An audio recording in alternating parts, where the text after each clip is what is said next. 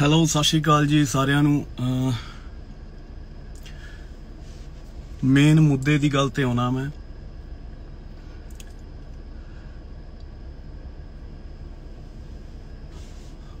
ਦਸ ਤਰੀਕ ਨੂੰ ਅਗਸਤ ਨੂੰ ਮੈਂ ਜਿਮ ਤੋਂ ਬਾਹਰ ਆ ਰਿਹਾ ਸੀਗਾ ਜਿਮ ਤੋਂ ਵਾਪਸ ਆ ਰਿਹਾ ਸੀ। ਤੇ ਮੈਨੂੰ ਮੇਰੇ ਲਾਇਰਸ ਦਾ ਫੋਨ ਆਇਆ, ਕਹਿੰਦੇ ਸਿੰਘੇ ਤੇਰੇ ਤੇ ਇੱਕ ਐਫ ਆਈ ਆਰ ਕੱਟੀ ਗਈ ਹੈ 294 ਦੀ ਕਪੂਰਥਲਾ। ਤੇ ਆਫਟਰ 3-4 ਦਿਨ ਬਾਅਦ ਉਸੇ ਗਾਣੇ ਤੇ ਐਫ ਆਈ ਆਰ ਕੱਟੀ ਗਈ ਸੀ ਅਜਨਾਲੇ 295 ਏ ਦੀ। ਮੈਂ ਕਿਸੇ ਧਰਮ ਦੇ ਖਿਲਾਫ ਨਹੀਂ ਹੈਗਾ। ਮੈਂ ਇਸ ਵੇਲੇ ਵੀ ਸੁਹਾਣਾ ਸਾਹਿਬ ਗੁਰਦੁਆਰੇ ਸਾਹਮਣੇ ਹੀ ਆ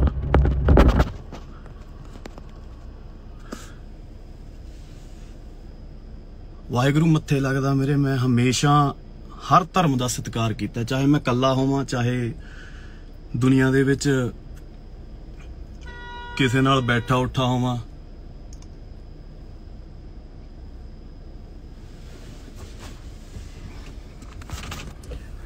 ਸੋ ਗੱਲ ਹੈਗੀ ਇਹ ਕਿ ਜਦੋਂ ਮੇਰੇ ਲਾਇਰਸ ਨੇ ਦੱਸਿਆ ਮੈਨੂੰ ਕਹਿੰਦੇ ਸਿੰਘੇ ਤੇਰੇ ਤੇ ਪਰਚਾ ਕੱਟਿਆ ਗਿਆ। ਠੀਕ ਹੈ ਜੀ।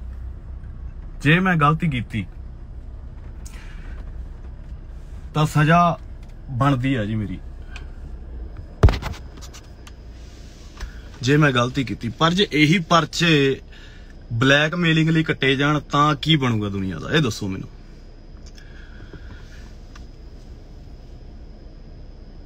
ਅੱਜ ਇਹ ਸੱਚ ਦੁਨੀਆ ਸਾਹਮਣੇ ਰੱਖਦਾ ਮੈਂ। ਕਿ ਇੱਥੇ ਇਹ ਰਿਵਾਜ ਚੱਲਦਾ ਹੈ ਜੀ 295 ਦਾ ਪਰਚਾ ਕੱਟ ਦਿਓ 10 ਲੱਖ ਰੁਪਈਆ ਮੰਗ ਲਓ ਕਿਸੇ ਤੋਂ। 10 ਲੱਖ ਰੁਪਈਆ ਮੰਗਿਆ ਗਿਆ ਮੇਰੇ ਤੋਂ, ਮੇਰੇ ਤੇ ਪਰਚੇ ਕਟਾ ਗਏ। ਫਿਰ ਕਹਿੰਦੇ, ਪਤਾ ਕੀ ਆ, ਅਸੀਂ ਧਰਮ ਦਾ ਸਤਿਕਾਰ ਕਰਦੇ ਆ ਜੀ, ਅਸੀਂ ਤਾਂ ਨਿਆਣਿਆਂ ਨੂੰ ਸਿੱਧੇ ਰਾਹ ਪਾਉਨੇ ਆ ਮੇਰੇ ਕੋਲ ਸਾਰੇ ਪ੍ਰੂਫ ਪਏ ਨੇ। ਹਰ ਚੀਜ਼ ਦਾ ਪ੍ਰੂਫ ਪਿਆ ਮੇਰੇ ਕੋਲ। ਤੁਹਾਨੂੰ ਸਾਈਡ ਇਫੈਕਟ ਦੱਸਾਂ, ਪਰਚੇ ਕੱਟਣ ਦਾ ਕੀ ਹੁੰਦਾ ਮਾਪੇ ਪਰੇਸ਼ਾਨ ਹੁੰਦੇ ਨੇ। ਮੇਰਾ ਪਿਓ ਜਿੰਨਾ ਪਰੇਸ਼ਾਨ ਹੋਇਆ ਨਾ, ਮੈਨੂੰ ਪਤਾ। ਮੇਰੇ ਪਿਓ ਨੇ ਮੈਨੂੰ ਗਾਲਾਂ ਵੀ ਕੱਢੀਆਂ। ਜਦ ਐਸ ਉਮਰ ਚ ਆ ਕੇ ਮੈਂ ਇੰਨਾ ਕੁਝ ਕਰਕੇ ਦੇ ਸਕਦਾ ਆਪਣੇ ਪਿਓ ਨੂੰ ਨਾ, ਤਾਂ ਮੈਂ ਉਹਦੇ ਲਈ ਜਾਨ ਵੀ ਦੇ ਸਕਦਾ। ਮੇਰੇ ਪਿਓ ਨੇ ਮੈਨੂੰ ਕਿਹਾ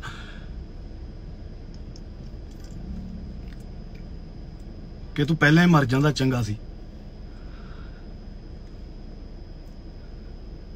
ਮੇਰਾ ਕਿਸੇ ਧਰਮ ਨਾਲ ਕੋਈ ਲੈਣਾ ਦੇਣਾ ਨਹੀਂ ਹੈ ਮੈਂ ਸਾਰਿਆਂ ਦਾ ਸਤਿਕਾਰ ਕਰਦਾ, ਕਦੇ ਕਿਸੇ ਦਾ ਮੈਂ ਪਿੱਠ ਤੇ ਵੀ, ਇਕੱਲੇ ਨੇ ਵੀ, ਕਦੇ ਕਿਸੇ ਦੀ ਜਿੱਦਾਂ ਲੋਕ ਕਰਦੇ ਨੇ ਨਾ, ਮੂੰਹ ਤੇ ਸਾਰੇ ਚੰਗਾ ਚੰਗਾ ਕਹਿੰਦੇ ਨੇ, ਮੈਂ ਸਾਰਿਆਂ ਨੂੰ ਚੰਗਾ ਹੀ ਕਹਿੰਦਾ, ਮੇਰੇ ਲਈ ਸਾਰੇ ਇੱਕ ਬਰਾਬਰ ਨੇ।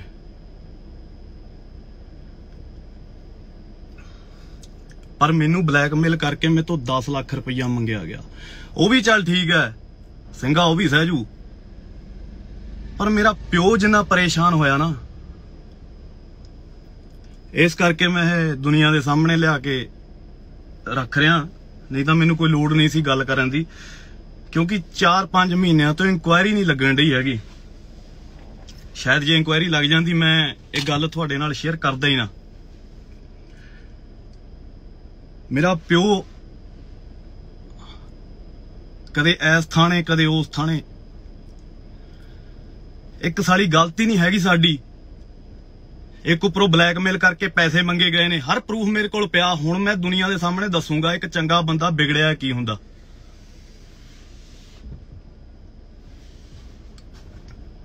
ਮੈਨੂੰ ਧਮਕੀ ਦਿੱਤੀ ਗਈ ਵੀ ਤੈਨੂੰ ਆਲੀ ਸਟੇਜ ਤੋਂ ਚੁਕਾ ਦੇਣਾ ਸੀਗਾ।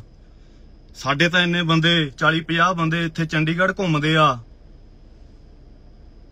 ਮੈਂ ਇਕੱਲਾ ਹੀ ਘੁੰਮਦਾ। ਪਰ ਧਿਆਨ ਨਾਲ ਮੇਰੇ ਵੀਰੇ 21 ਬੰਦਿਆਂ ਦਾ ਮੇਲ ਦੇ ਵਿੱਚ ਨਾਮ ਲਿਖ ਕੇ ਆਇਆ ਮੈਂ। ਚਾਹੇ ਕਿਸੇ ਨੇ ਮੇਰੇ ਨਾਲ ਮਾੜੀ ਕੀਤੀ, ਚਾਹੇ ਕਿਸੇ ਨੇ ਮੇਰੇ ਤੇ ਇੰਟਰਵਿਊ ਦਿੱਤੀ ਹੈ। ਉਹ 21 ਬੰਦਿਆਂ ਦੇ ਨਾਮ ਮੇਲ 'ਚ ਪਏ ਨੇ। ਕੱਲ ਨੂੰ ਮੈਨੂੰ ਜਾਂ ਮੇਰੇ ਪਿਓ ਨੂੰ ਇੱਕ ਬਾਲ ਬਿੰਗਾ ਵੀ ਹੋ ਗਿਆ ਨਾ, ਉਹ ਸਾਰੇ ਚਕਾਉਂਗਾ ਮੈਂ।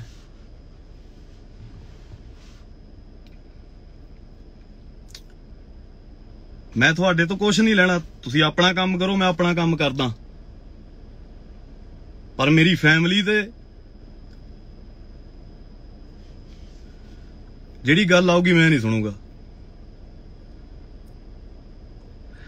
ਮੇਰਾ ਪਿਓ ਪਰੇਸ਼ਾਨ ਹੋਇਆ ਜਿੰਨਾ ਨਾ ਉਹ ਦਿਲ ਚ ਲੁਕਾਈ ਬੈਠਾ ਮੈਂ। ਚਾਹੇ ਪੈਸੇ ਵਾਲਾ ਹਿਸਾਬ ਕਿਤਾਬ, ਇਹ ਕਿ ਸਾਰੀ ਸਮਝ ਨਹੀਂ ਆਉਂਦੀ ਮੈਨੂੰ। ਵਾਹਿਗੁਰੂ ਦੇ ਸਾਹਮਣੇ ਆ, ਮੇਰੇ ਸਾਹਮਣੇ ਮੈਂ ਪ੍ਰਮਾਤਮਾ ਨੂੰ ਮੰਨਦਾ ਮੰਨਦਾ ਅੱਜ ਸੁਹਾਣਾ ਸਾਹਿਬ ਗੁਰਦੁਆਰੇ ਦੇ ਸਾਹਮਣੇ ਮੈਂ ਹੱਥ ਜੋੜ ਕੇ ਇੱਕ ਮੈਂ ਕਹਿੰਦਾ ਯਾਰ ਬਾਬਾ ਜੀ, ਮੈਂ ਦਿਲ ਤੋਂ ਕਦੇ ਕਿਸੇ ਦਾ ਮਾੜਾ ਨਹੀਂ ਕੀਤਾ, ਪਰ ਫਿਰ ਵੀ ਲੋਕ ਇੱਕ ਪੈਸੇ ਲਈ ਬਲੈਕਮੇਲ ਕਰਦੇ ਹੋ ਤੁਸੀਂ ਕਿਸੇ ਨੂੰ? ਕਰ ਲਓਗੇ? ਮੈਨੂੰ ਪਤਾ ਪੰਜਾਬੀ ਸਿੰਗਰ ਹੋਏ ਨੇ ਬਲੈਕਮੇਲ, ਉਹਨਾਂ ਨੇ ਪੈਸੇ ਦਿੱਤੇ ਨੇ। ਇਹਨਾਂ ਨੂੰ ਲੱਗਾ ਸਿੰਘੇ ਨੂੰ ਵੀ ਬਲੈਕਮੇਲ ਕਰ ਲਾਂਗੇ।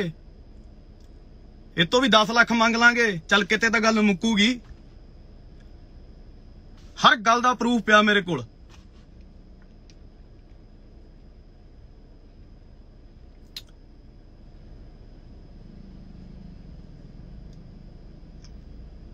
ਐਕਚੁਅਲੀ ਬੰਦਾ ਇਹਨਾਂ ਨੂੰ ਕੋਈ ਟੱਕਰਿਆ ਨਹੀਂ ਚੱਜਦਾ।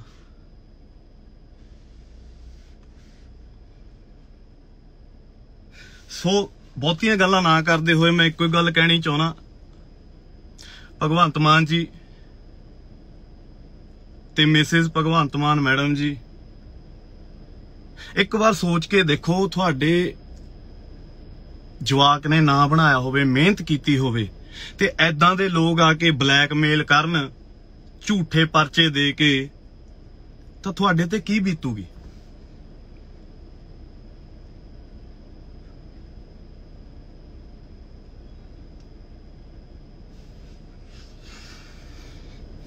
ਮੈਨੂੰ ਬਦਨਾਮ ਕੀਤਾ ਗਿਆ। ਹਰ ਨਿਊਜ਼ ਚੈਨਲ ਤੇ ਸਿੰਘੇ ਤੇ ਹੋਈ ਜੀ ਐਫ ਆਈ ਆਰ 200 ਲੱਗੀ 95 ਧਾਰਾ। ਮੇਰਾ ਕੰਮ ਖੜਿਆ, ਮੇਰੇ ਸ਼ੋਜ਼ ਖੜੇ, ਮੈਨੂੰ ਦੋ ਫਿਲਮਾਂ ਆਉਂਦੀਆਂ ਸੀ।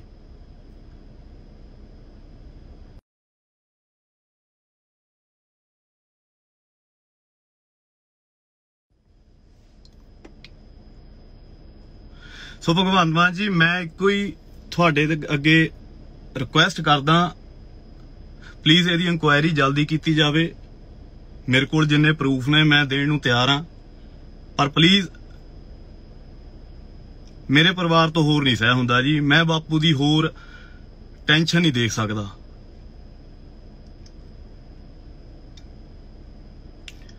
ਚਾਹੇ ਮੈਨੂੰ ਮਰ ਕੇ ਨਾ ਵਾਪਸ ਆਣਾ ਪਵੇ। ਪਰ ਪਿਓ ਦੀ ਟੈਨਸ਼ਨ ਨਹੀਂ ਦੇਖ ਸਕਦਾ ਮੈਂ। ਸੋ ਪਲੀਜ਼ uh, ਮੇਰੀ ਇੱਕ ਬੇਨਤੀ ਹੈ ਜੀ। ਪਲੀਜ਼ ਮੇਰੀ ਗੱਲ ਨੂੰ ਸੁਣਿਆ ਜਾਵੇ, ਗੌਰ ਕੀਤਾ ਜਾਵੇ ਤੇ ਜਿਹੜੀ ਬਣਦੀ ਕਾਰਵਾਈ ਆ ਇਨਕੁਆਇਰੀ ਕੀਤੀ ਜਾਵੇ ਜਲਦੀ ਤੋਂ ਜਲਦੀ ਤੇ ਮੈਨੂੰ ਇਹਦੇ ਚੋਂ ਕੱਢਿਆ ਜਾਵੇ ਜਲਦੀ। ਜੇ ਮੈਂ ਗਲਤ ਆ ਮੈਨੂੰ ਸਜ਼ਾ ਦਿੱਤੀ ਜਾਵੇ, ਜੇ ਮੈਂ ਸਹੀ ਆ, ਫਿਰ ਉਹਨਾਂ ਨੂੰ ਸਜ਼ਾ ਦਿੱਤੀ ਜਾਵੇ। ਸੋ ਬਹੁਤ ਬਹੁਤ ਧੰਨਵਾਦ ਜੀ ਗੱਲ ਸੁਣ ਲਈ। ਬਸ ਇੰਨੀ ਕੁ ਗੱਲ ਕਰਨੀ ਸੀ। ਤੇ ਬਾਕੀ ਰੱਬ ਚੜ੍ਹਦੀ ਕਲਾ ਚ ਰੱਖੇ ਤੁਹਾਨੂੰ ਸਾਰਿਆਂ ਨੂੰ ਖੁਸ਼ ਰਹੋ ਆਬਾਦ ਰਹੋ Subscribe to One India channel and never miss an update.